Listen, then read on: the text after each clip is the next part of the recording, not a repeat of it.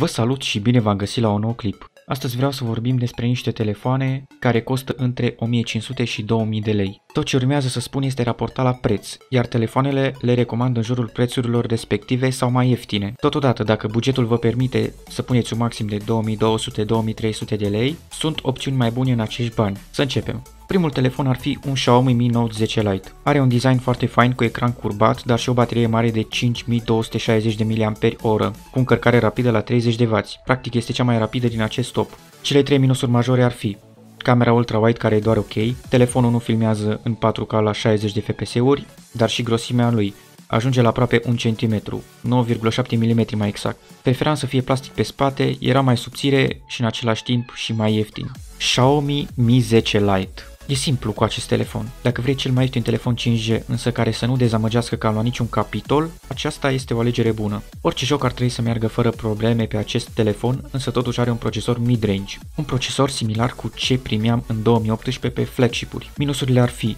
1. Nu filmează 4K la 60 de fps-uri 2. Camera ultra-wide care din specificații pare doar ok.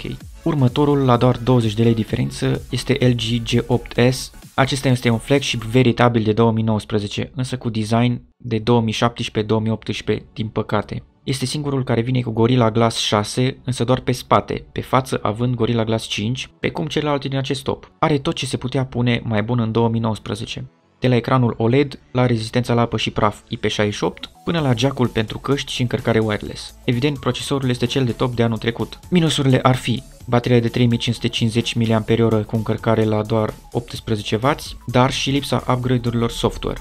Cel mai probabil o să rămână cu Android 9, maxim Android 10, aș spune eu.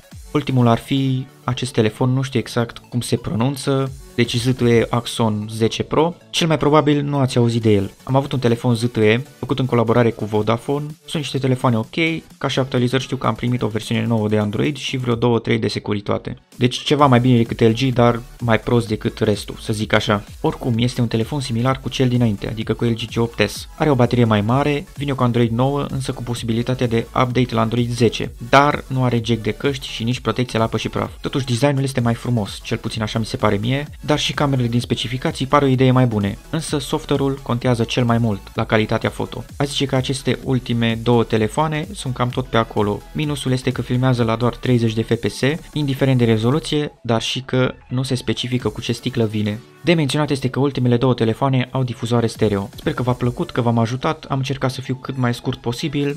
Nu uitați de un like, un share și o abonare cu clopoțel neapărat. Eu am fost Roman, toate cele bune!